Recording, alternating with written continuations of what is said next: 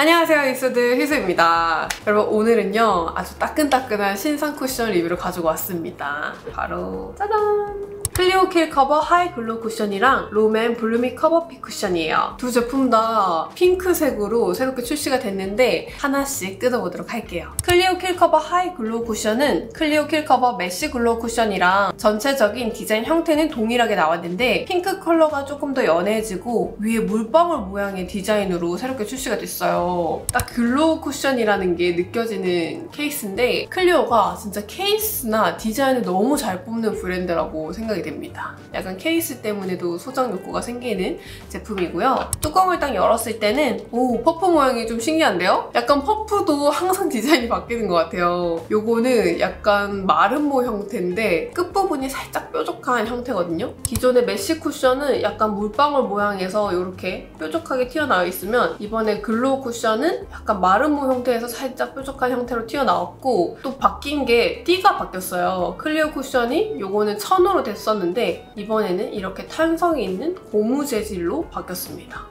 퍼프도 조금 더 말랑말랑해진 것 같아요. 위아래가 다 말랑말랑한 소재로 바뀌었습니다. 안쪽 스펀지는 따로 뭐 음각 이런 건 없고요. 스펀지 자체도 좀 단단한 편이어서 양 조절을 좀 쉽게 할 수 있을 것 같아요. 제형을 보시면 약간 glow 형태긴 한데 딱 발랐을 때 밀착력이 좀 느껴지는 제품이거든요. 조금 광채가 돌면서 밀착력이 있는 그럼 바로 이어서 롬앤 쿠션도 한번 볼게요. 롬앤 쿠션도 똑같은 핑크 형태로 나왔고요. 누 제로 쿠션이랑 디자인은 비슷한 형태인데 투명한 재질로 만들어졌어요. 뚜껑 딱 열었을 때 물방울 모양의 퍼프가 등장하고 롬앤 특유의 이렇게 고무 재질의 띠가 같이 준비되어 있습니다. 뚜껑을 딱 열었을 때는 롬앤 마크가 이렇게 음각 표시로 되어 있고 이것도 스펀지가 좀 단단한 형태여서 양 조절을 좀 쉽게 할 수 있는 제품이에요. 제형을 보시면 클리오 쿠션보다는 조금 더 matte한 느낌의 질감이에요. 이게 silky랑 matte의 그 사이에 있는 쿠션이어서 딱 발랐을 때 은은한 광은 있지만 전체적으로는 뽀송하게 마무리가 되는 제품이에요.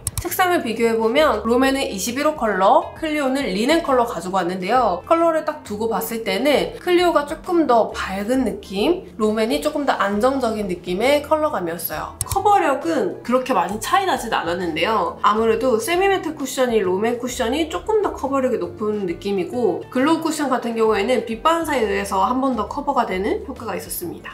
자 그럼 이제 얼굴에 한번 직접 발라볼게요. 일단 이쪽에는 클리오 쿠션, 이쪽에는 롬앤 쿠션 반반 비교를 해보도록 하겠습니다. 저의 잡티 잘 보이죠 여러분?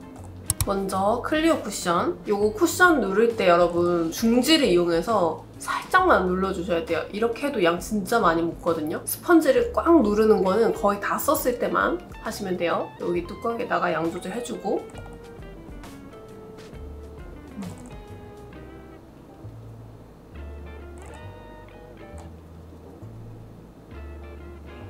어, 향이 있습니다.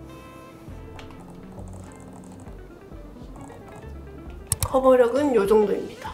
이렇게 잡티들이 살짝살짝은 다 보이고 오히려 네이밍 쿠션이 좀 생각날 정도로 굉장히 얇게 도포가 되는 것 같아요. 이 정도의 커버력입니다. 반대쪽에는 롬앤 컬러 발라볼게요. 21호 컬러 중지에 살짝 묻혀서 스펀지가 롬앤이 클리오보다 조금 더 단단해요. 양 조절이 조금 더 쉬울 것 같습니다. 여기에 콩 찍어서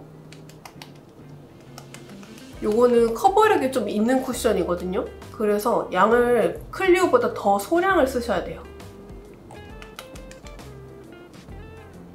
두 제품이 좀 비슷한 시기에 나와가지고 좀 닮지 않았을까 생각했는데 완전히 다른 느낌입니다.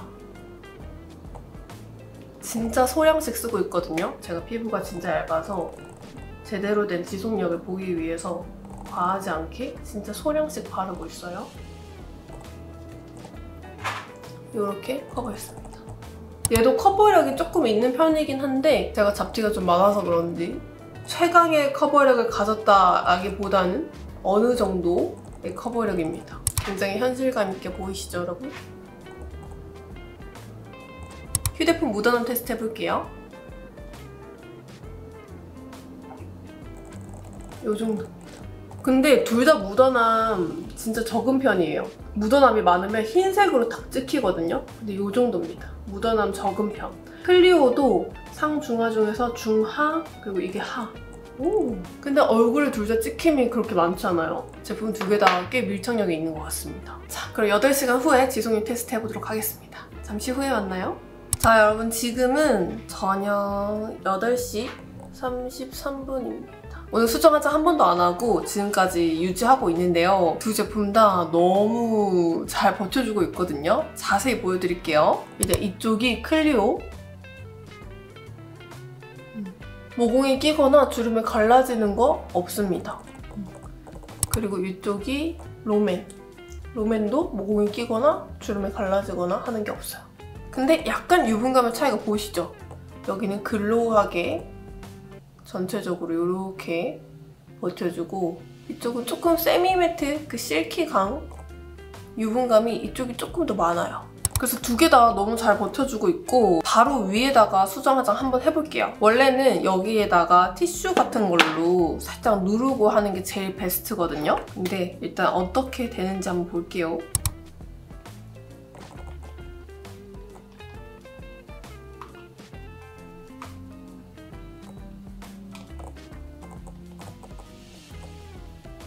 음. 괜찮은데요? 음. 음. 수정 화장도 괜찮습니다. 양을 진짜 콩알만큼 살짝 탁 찍어가지고 했는데 이렇게 매끈하게 잘 되는 것 같아요. 이번 쿠션 너무 괜찮은데요? 다크닝은 다크닝이라기보다는 그냥 약간 지워지는 정도인 것 같아요. 흑색이 되거나 그러진 않고 그냥 원래 내 피부처럼 살짝 톤 다운되는 느낌? 반대쪽에도 발라볼게요. 반대쪽엔 롬앤. 롬앤도 진짜 콩알만큼 절대 푹 찍으면 안 돼요 여러분. 콩알만큼 살짝 묻혀서 보이시나요? 진짜 점박이처럼 요만큼 콩알만큼 찍어가지고